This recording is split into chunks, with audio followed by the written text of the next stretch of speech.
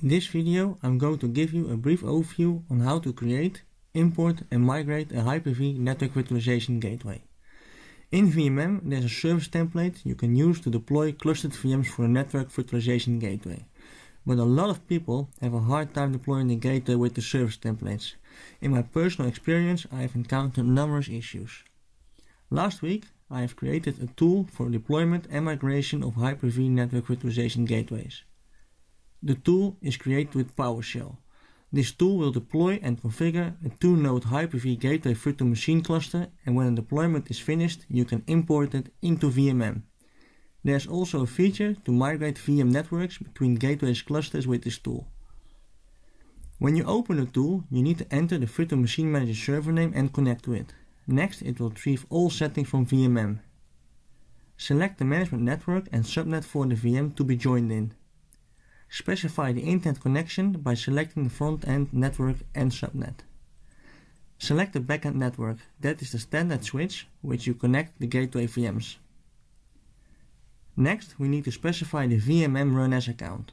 This is used when adding the VM gateways into VMM as a network service. Select a template to use for deployment. You might have noticed here that you can also deploy generation 2 virtual machines. Select from the list the cluster where you want to deploy the VMs to. When the cluster is selected, the cluster nodes are available as targets for the specific nodes you want to deploy. Define names for the node VMs and the cluster account and define the IP address. This has to be an IP from the management network pool. The local administrator password for the virtual machines is retrieved from a run as account you specified over here. Next, click on deploy. It will ask for credentials. These credentials are used to execute tasks on the Hyper-V host cluster and inside the VMs. The first step is checking remote PowerShell. When you run this tool from a VMM server, there are no changes needed as the VMM installation already configured this on all nodes in the VMM cluster. When you run this on a management server where you have the VMM console installed, it will configure WSMAN CRED SSP and NTLM only for server authentication. Then it will start deploying the VM nodes.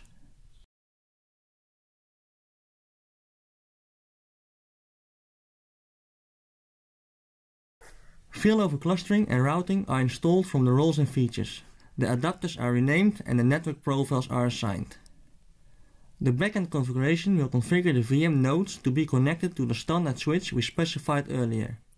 In this step, the possible owner and the preferred owner are configured as these machines are deployed highly available, but they are not allowed to be live migrated in the future.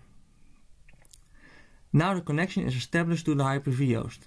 In the root of the cluster shared volume, it creates a VMM disk folder and within that a folder referred to the cluster name, containing two VHDX files, one for the quorum and one for the cluster shared volume.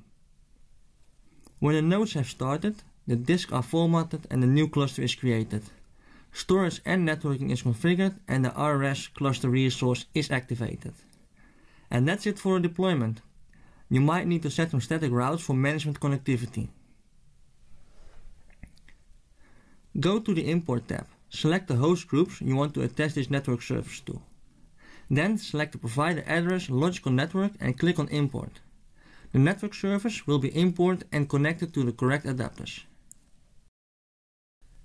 Now we are going to migrate an existing network to a new cluster. Let's verify internet connectivity on server V801.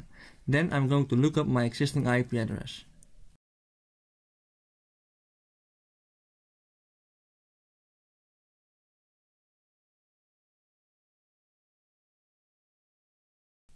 For testing, I have created a NAT rule and a VPN connection. The tool will also migrate these. Let's verify my IP address and relation with the VA01.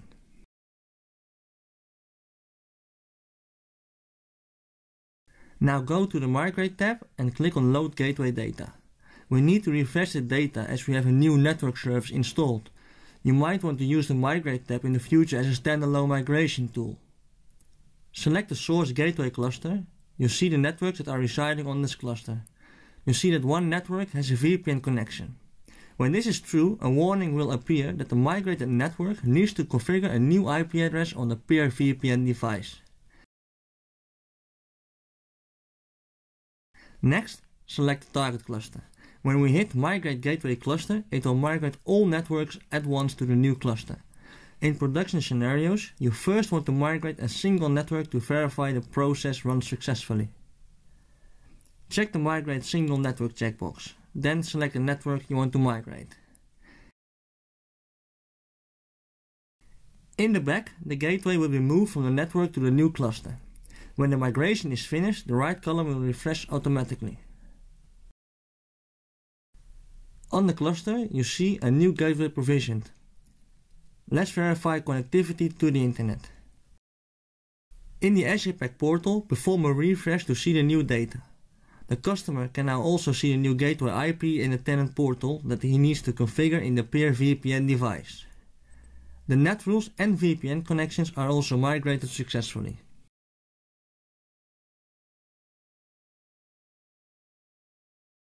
It's also possible to migrate the whole new cluster to another cluster. To perform this procedure, uncheck the Migrate Single Network and change the source gateway cluster. Specify the new target and click on Migrate. You will experience a short disconnect. The view is refreshed when the procedure is completed.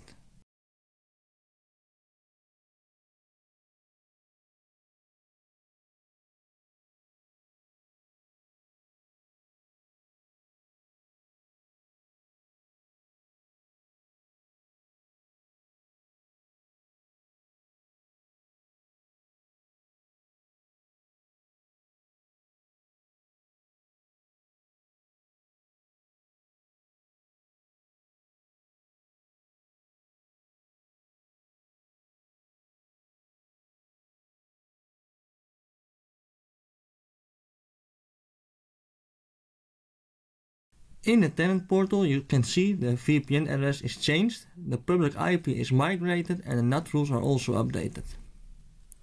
That's it for now, I hope you enjoyed the tool. If you have any questions or suggestions please let me know. Happy deploying and importing and migrating.